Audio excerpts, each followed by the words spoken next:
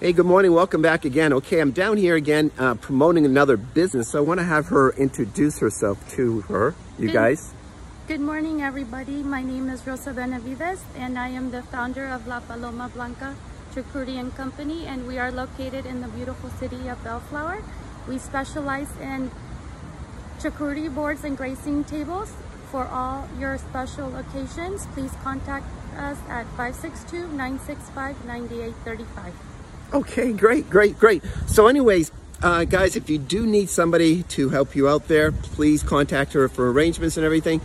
Let's talk about the tax deeds. Remember, I want to mention to you on tax deeds, when you're going to be buying the tax deeds, you're going to be owning the property, okay?